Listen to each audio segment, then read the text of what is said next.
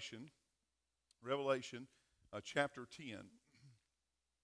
Revelation chapter 10, I've got so much teaching to do that I couldn't get done with if I had to. I was up studying over the past couple days in Revelation, and you know what happens? I say, well, I got to be ready for Wednesday night. I, I got to have something for the folks. You know, I got to have something that's fresh, and you know, I got to go a little deeper, go a little longer. So I just get in there, and get to study, and I get to making notes, and my legal pad just keeps the page just keeps getting turned, and then I realize, wait a minute.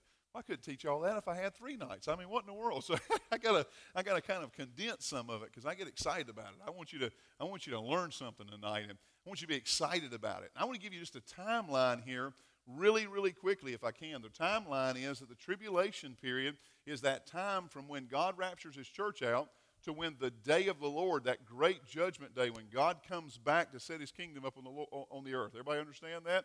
And so here is the time that we're talking about. We live right here. We live between the time that Jesus died on the cross and the time that he come back for the rap that the rapture is going to occur. Everybody's got that? So that's where we live. And so we're talking about the tribulation. And of course, I got it really big so I can give you some talk about it. I can talk about it, fill in some stuff here. But the tribulation period is a seven year period of time where the judgment of God will come forth on the earth, and it will be a time of tribulation and a time of great judgment like there's never been known. Now, of course, this will be again after God's people have been raptured out, after we've been taken home. I always do this every Wednesday night because I want you to get this, and I want to remind the believer that we're just like Noah. We are preaching, listen, the judgment of God is coming, but it's not coming until we're safe on the ark and then the judgment of God will show up. Everybody understand that? You get that? You put that in your mind? Don't let anybody ever tell you, oh, no, listen now, you're going to have to go out here and save your beer cans and bottles and tires because, boy, the Antichrist is coming and you're going to need to be. Don't, don't buy into all that. Listen, we're just like Noah. We're preaching righteousness right now. We're preaching, boy, accept Jesus Christ. We're standing in the ark, I believe, with the door open seven days that God left the door open on the ark. Man, he was hollering out, Y'all come on in here. Y'all come on in here. Nobody come in. But the Bible says that when God closed the door, that the judgment of God fell out of the sky. 40 days and 40 nights it rained upon the earth. Now that's where we're at. I believe we're standing here inside the ark, and the door's open, and we're shouting out, "Hey, come on in here, man! Don't you don't want to face the judgment of God?" And I believe that when God calls us home, it'll be the same as that door shutting, and the judgment of God will come on the earth. Everybody see where I'm talking about? Everybody see where we're at? Seven years the Bible says will be the judgment of God on the earth. Seven years. Now, the first three and a half years will be a little bit better than the last three and a half years. The first three and a half years will be just a little bit easier than the last three and a half years. And you say, Preacher, how do you know that? Well, we're going to look about that in the next little bit. But we notice that here in the first three and a half years that we see a book that was sealed with seven seals. And God continually opens each seal. And as he opens each seal, something terrible happens. Something bad happens. The Antichrist appears, but he appears to be kind of the guy that's got all the answers. But that's the beginning of his career, that's the beginning of his ministry. And as he opens each seal, here we see more judgment, more judgment. And then when he opens the seventh seal, the final seal, inside of that has three other th- things. There's seven trumpets, there's seven people, and there's seven bowls of judgment, seven bottles of judgment. Call them cups if you want to. The Bible calls them vials. They're holding the judgment of God. And now here we are. We've come all the way down here to the sixth trumpet. Now, where is that sixth trumpet at? It's kind of right here in the middle. It's right here in that middle of the three and a half years. Does everybody see that? So we've kind of made it halfway to the tribulation. So you know what that tells us? Things are not going to get better things are going to get worse. Because the tribulation starts off kind of kind of slow going, but the end of it is super judgment. It's super judgment. It's the terrible of the terrible. And here we are at the sixth trumpet. It's already sounded. The judgment of God's come forth. We're waiting on the seventh trumpet, but in between there, we've seen that angel that steps out and he puts his foot in the ocean and he puts his foot on the land and he declares with his right hand in the air, he said, This is the end of time. And boy, when he says that, guess what? The end of time is near. It is right down there, run out right here. And he's saying right now, listen, guys, God's been patient and God's been patient and God's been patient, but this is the end. And we began to talk about that angel that was there, that angel that stood there with his foot in the thing, in the water and his foot on the land. And I talked to you about how that sometimes Jesus Christ in the Old Testament is referred to as an angel, and sometimes in the New Testament he's referred to as an angel. Although we know that he's part of the Trinity and that he's part of, he's part of, of God and that he's one with God, he's broken apart sometimes and called the angel of God. Now we know that this angel stands there and he declares the end is here. But when you see that, I tell you, it's something we ought to consider. And when these people see that, there's this sign that the end is near. Now, as bad as everybody thought this was, the end is even worse. Does everybody see that?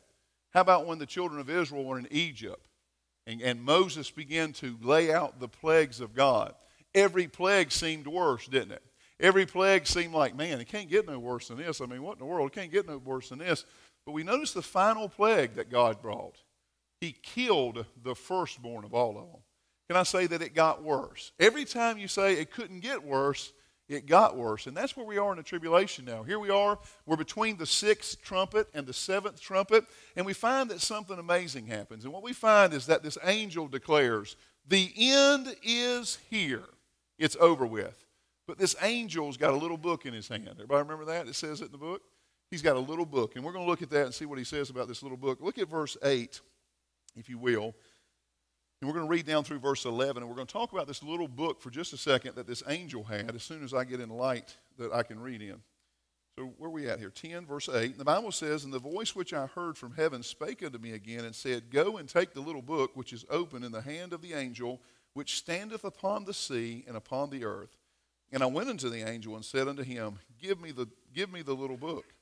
And he said unto me, Take it and eat it up, and it shall make thy belly bitter, but it shall be in thy mouth sweet as honey.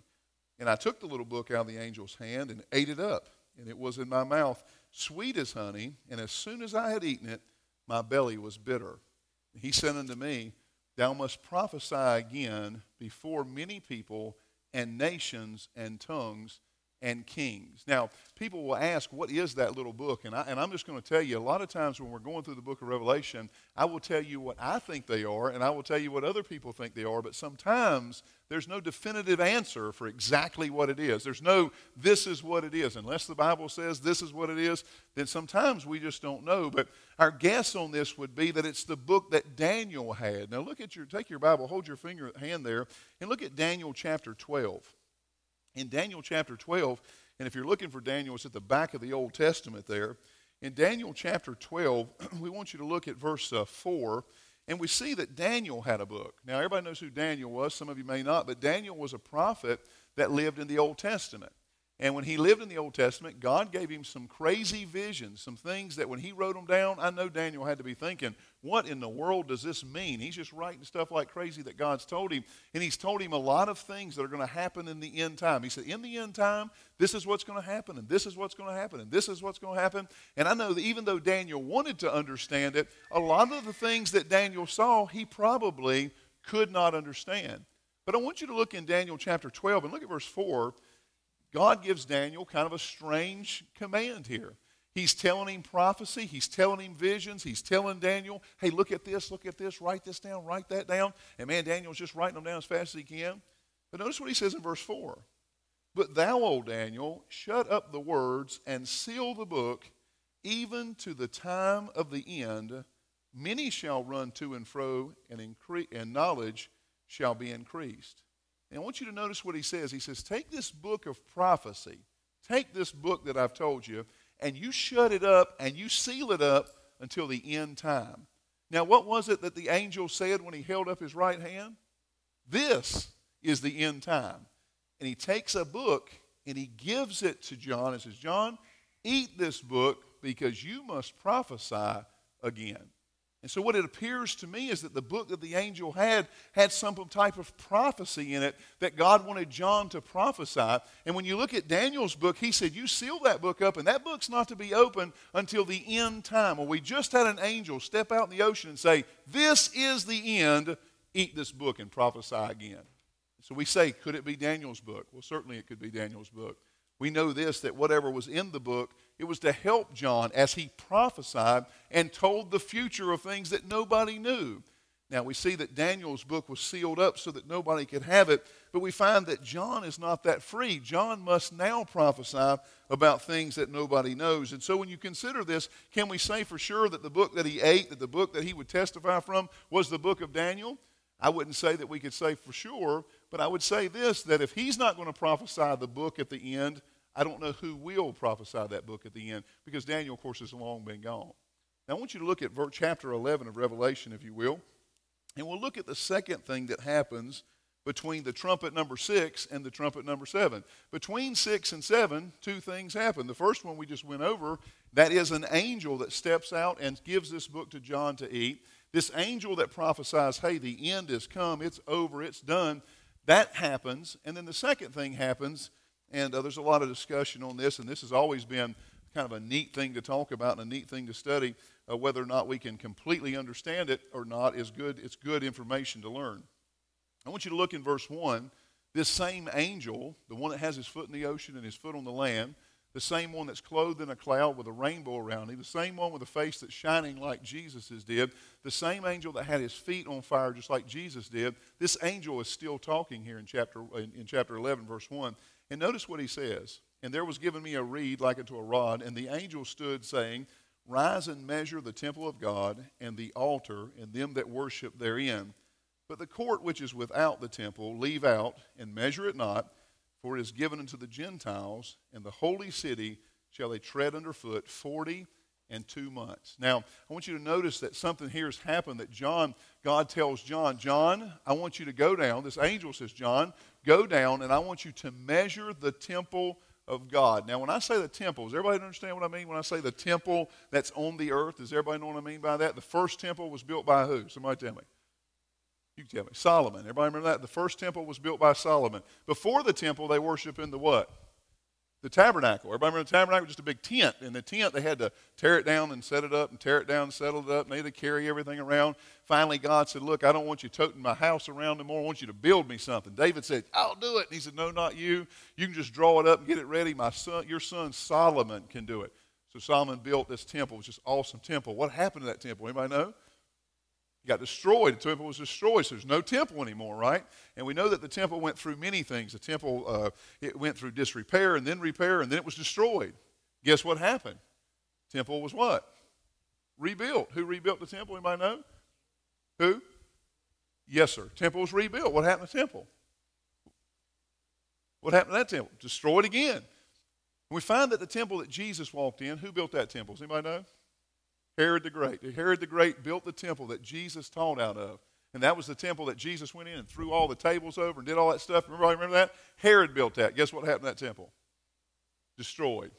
You know who destroyed it? Rome destroyed it. Rome tore it up, burned it down, said there won't be anything here. And if you watch over on the news, you'll see the Jews that are against the wall and they're wailing against the wall. Everybody know what I'm talking about? That's where the temple would have been. It would have been there. This is the only part of it that still remains is that wall. And they worship toward God at that wall, and that wall means a lot to God's people. Now, do you know what the Jewish people want right now more than they want anything?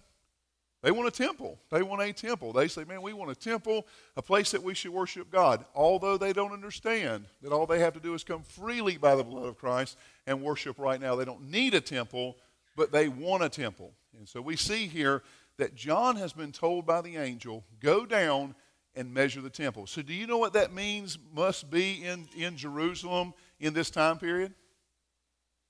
A temple. There must be a temple, or he couldn't measure. Does everybody, everybody see where I'm coming from? He says, Listen, go down and measure the temple. Well, you know that John had lived long enough. He had seen the temple destroyed by Rome. He knew there was no temple in Jerusalem at that time. So if the angel was telling him, Go and measure a temple, what he was telling him is, Go measure the new temple that's there now. So, you know what we ought to be looking for if we want to kind of get an idea of where this time ought to be? We ought to be looking for a temple to get built in Jerusalem. Now, there's preachers and reports, and I've heard all kinds of stuff how that everything's ready to build the temple, how that the rabbis and the Sanhedrin and those that are there in power today have already compiled the things to build the temple. There are those that say and swear that they've seen the stuff ready to build. Would I be shocked? No, I would be shocked. I believe we're that close. But you know what we do know? We know that at this time is coming when we start to see Israel build a temple. And he tells John, John, You go measure that temple. Go down there and look at that temple and tell me what size it is. He said, But I'm going to tell you, the Gentiles, they're going to trod that thing. They're going to run all over it for the next 42 months. Now, how long is 42 months in years? Three and a half years, Brother Glenn. I'm glad you say that because I, I, I, thought that was right. I, I, sometimes, when I throw numbers out, I'm thinking, Lord, I hope I'm right. I don't want to look dumb while I'm up here. Three and a half years. Now, you see right here what we're talking about? Three and a half years. It's going to be tread by the Gentiles. For the next three and a half years, Jerusalem will not be the Jews and it will not be the holy hill of God, but it will be desecrated by the Antichrist in this time. You realize that the Bible says that when the Antichrist shows up, that he'll be loved and everybody will love him. He'll be the guy with all the answers. But once he gets to this three and a half years, you know what he does? He goes to Jerusalem, he walks into the temple, and you know what he says? I am God, worship me here. And they begin to sacrifice and they begin to desecrate the temple of God for the next three and a half years. Say, man, how does God react to that? Not real good. Notice what happens. I want you to see what happens. Verse 3. How does God speak or how does he deal with these people who are going to take his temple, trod it underfoot, do all kinds of terrible things. And we could go back and we could talk about how that other Roman emperors had done the same thing and how that the Jews saw that as a sign of the end time. We talk about all that, wouldn't matter. But I want you to see what God does. And I will give power unto my two witnesses. Now, notice the reason I believe that the angel is standing with one foot in the water and one foot on the land, the reason I feel like that's Jesus Christ is because of that statement right there. I will give power unto my two witnesses, because it's the angel still talking, and they shall prophesy a thousand two hundred and threescore days clothed in sackcloth. Now, does anybody here know how long a thousand two hundred threescore days is? Three and a half years. See, Mike's quick on the calendar. He's bam, he figured that up in his head. Just bam, look at that. Three and a half years. So we have two witnesses that show up right here, and you know how long they're going to preach? You can say it. Three and a half years. I would put sackcloth on them, but I'm not sure what that looks like on a robe. But they'll be wearing sackcloth, and one of them apparently is taller than the other one. That's what we found here. It may be me and Brother Dusty preaching. I don't know, but it's a, it's it's got. He's the tall one, yes. so we find here that two witnesses will show up, and they will preach for three and a half years. And so, although their ministry is contained in this chapter, you're only going to read about their ministry in this chapter. It's like six verses, okay? That's not their full ministry. They didn't just preach for six verses, they actually preached for three and a half years. It's just summarized in this one chapter. Does everybody see that? Everybody got that? So here's what you got a picture now the Antichrist is ruling and reigning and doing his thing, and these two guys are preaching. Now, notice what they do, and this has kind of got to be a pain to the Antichrist. It says in verse 3 these are the two olive trees and the two candlesticks standing before the God of the earth. Now, we could go into that for a long time, and we're going we're going to kind of paraphrase all that. So we'll go down here and see where it says in verse 5. And if any man will hurt them, talking about the two witnesses, fire proceedeth out of their mouth and devoureth their enemies. And if any man will hurt them, he must in this manner be killed. Now, you got two preachers, man. They're preaching. Just walk around preaching. And if anybody tries to hurt them, guess what happens? They burn them up with fire. Man, that's kind of rough, ain't it? That's tough. I bet the first guy messed with him. The other guy said, Hey, I'm going to leave you alone, man. You just do what you want to do. Just preach on. Amen, brother. That's what he starts saying. Amen, preacher. Preach it. You don't fall asleep in their church service. Man, I mean, things getting right. Yes, sir. They won't be having none of that dozing off during their preaching. Wake you up quick when somebody gets burned up with fire. It's Wednesday night. You know, I got to keep y'all awake. Anyway, look at verse 6. It says, These have power to shut heaven, and it rained not in the days of their prophecy, and have power over waters to turn them to blood, and to smite the earth with all plagues as often as they will. These two guys are walking around with the power to plague the earth as they feel like it needs to be done. Some responsibility. They're walking around, they're preaching, Bible says they can stop it from raining, they can turn the water to blood, and they can plague the earth whenever they want to. Pretty tough. Notice what it says in verse 7. When they have finished their testimony, The beast that ascendeth out of the bottomless pit shall make war against them and shall overcome them and kill them. Well, that's something, isn't it?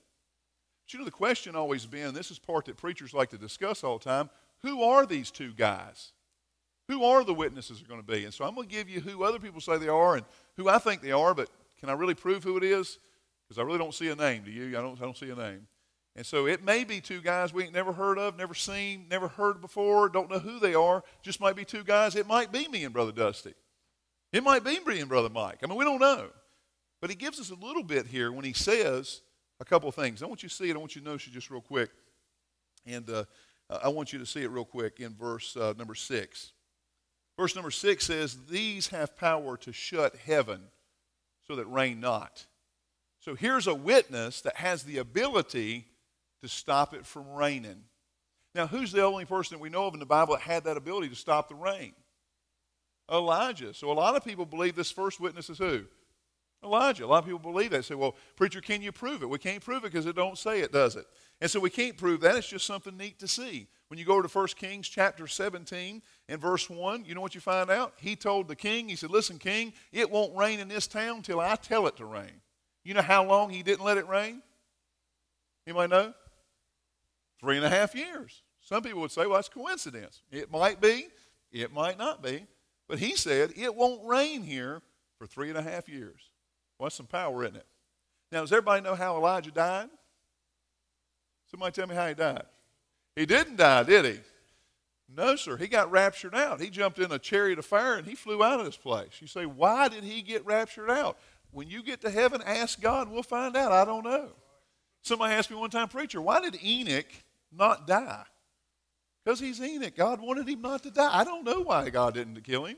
It doesn't say, well, he got to skip it because of, it doesn't say that. It just says he pleased God, and one day he was gone because God just took him. And you know why God did that? Because he's God and he can. That's, that's what he does. And so we find here Elijah didn't die. We find that he could stop it from raining, and he did it before for three and a half years. I want you to see something else that's important for you to know. Take your Bible, and I want you to look at Malachi, if you would, uh, chapter 4. Malachi chapter 4. Hold your place in Revelation unless you just, if you don't know where Malachi is, it's the last book of the Old Testament. Malachi chapter 4, and uh, I want you to look at verse 5 and verse 6. Malachi 4, verse 5 and 6.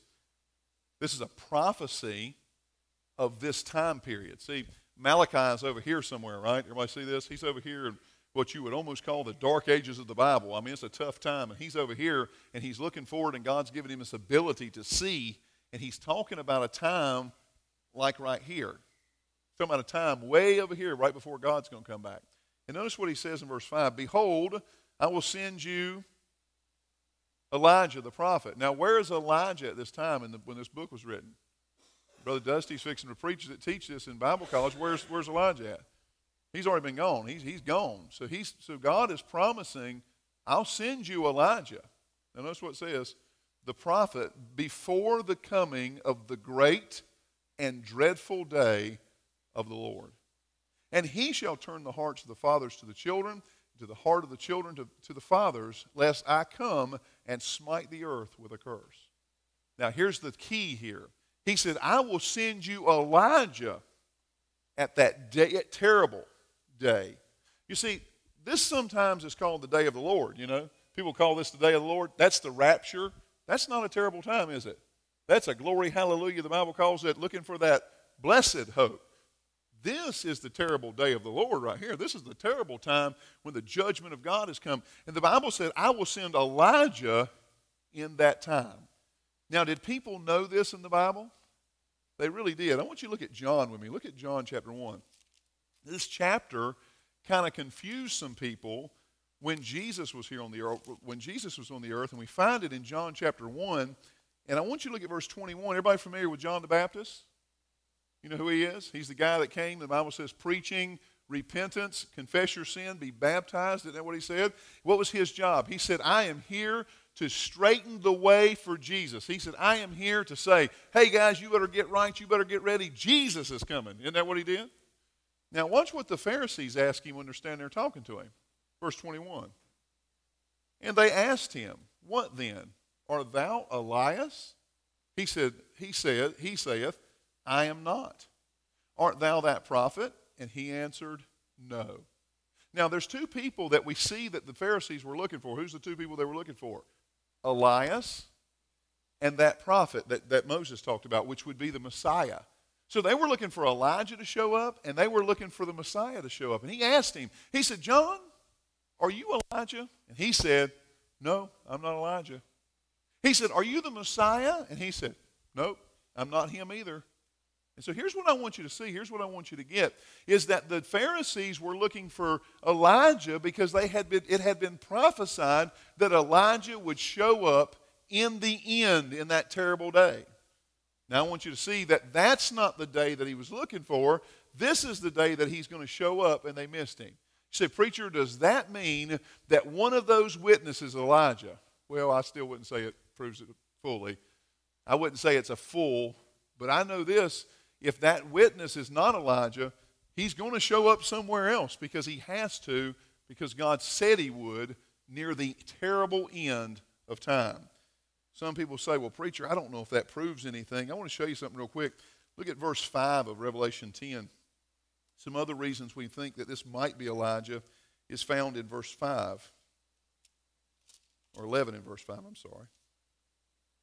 I got my ribbons mixed up. The Bible says, And if any man will hurt them, fire proceedeth out of their mouth. Now, who is the most widely known prophet to call down fire from heaven? Elijah is. Everybody remember the, the, the battle on Mount Carmel where they were trying to decide is Baal God or is God God? And that kind of sounds funny, doesn't it? Of course, God's God. That's his name. Anyway, Elijah says, I tell you what we'll do. We'll have a showdown.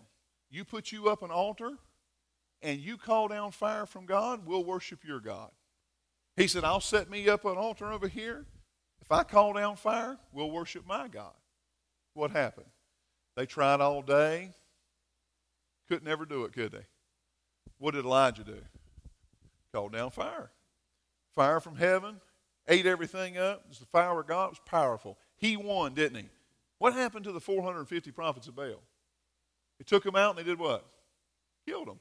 But look at Revelation 13. You know, Baal worshippers were Satan worshippers. Everybody got that?